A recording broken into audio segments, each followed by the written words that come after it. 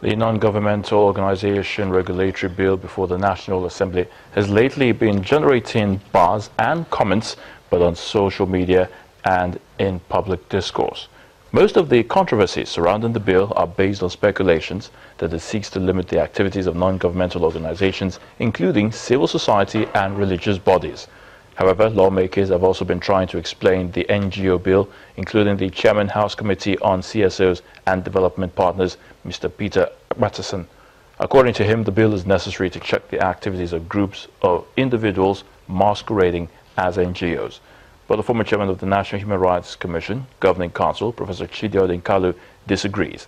And both of them were guests on our breakfast show, Sunrise Daily.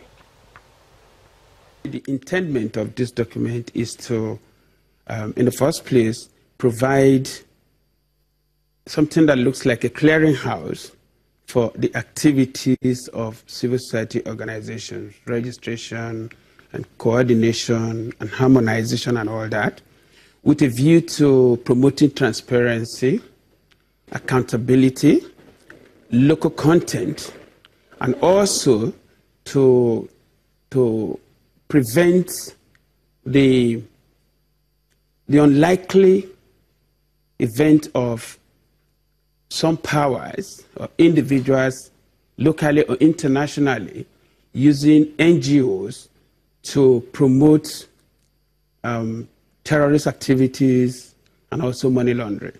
In 2011, the federal government set up the Gaji Galtimari Commission, uh, uh, uh, panel into the insecurity in the Northeast.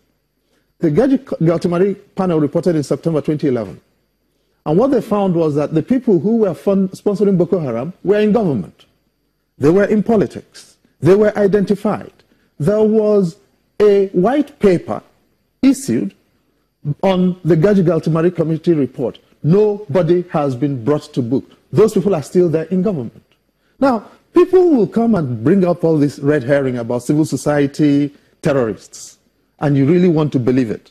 Yes? But that is not just nonsense, it is certifiable nonsense. And I'll ask you a question.